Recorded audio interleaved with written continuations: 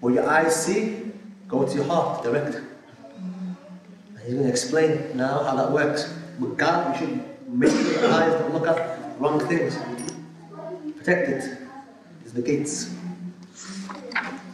Once they enter, if you look at something, even your ears, they're gates as well. Looking at something wrong, listening to something wrong, these are gates. And whatever you look at that's wrong, or whatever if you listen to something that's wrong, it goes straight to the heart. Very dangerous. if it gets to the heart, what happens? They will ruin it, they will ruin your heart, and it becomes difficult to remove them, expel them. How many you think has somebody seen something, maybe on TV, something, looked at something haram, astaghfirullah. And that picture now, that vision is in your heart. Or how many a bad word someone has said, backbiting, so and so so and so small, so and so this. And you just happen to listen by accident.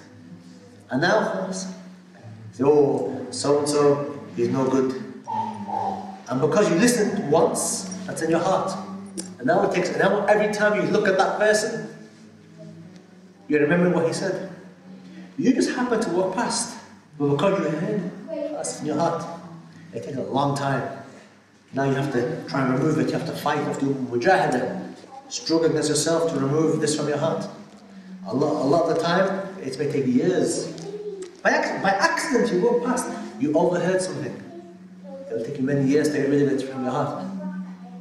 And this thing then happens that you have a bad opinion of somebody.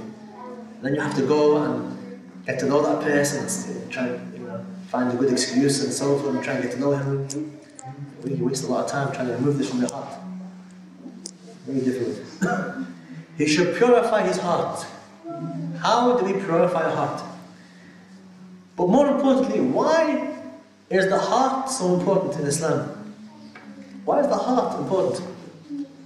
Because as we know, in Hadith Sahih, which is the place that Allah subhanahu wa ta'ala He looks upon.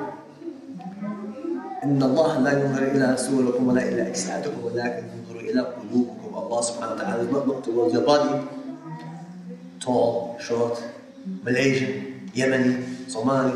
Allah Azza wa does not look at these things. These are superficial things, don't mean anything.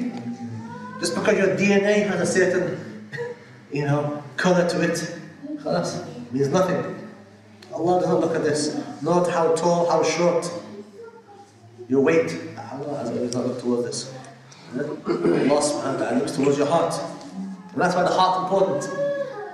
And any any tradition, any type of Islam that, that does not talk about the heart, eh, there's something wrong. Because this is, this is what Allah looks upon. The heart's important. And this is problem nowadays, modern Muslim thinkers now, uh, they don't talk about the heart. They talk about everything else, politics, this, and that, and all these other things. طيب, but Allah Azza wa Jalla has said in the Hadith al-Sahih, Allah looks towards the heart. Shouldn't we, shouldn't you and I have concern with our hearts? Yes, because why? Because Allah Azza wa Jalla, that's what He's looking on. And Allah subhanahu wa ta'ala looking at our hearts constantly. What does Allah see in your heart and my heart? What's in, it, what's in our hearts?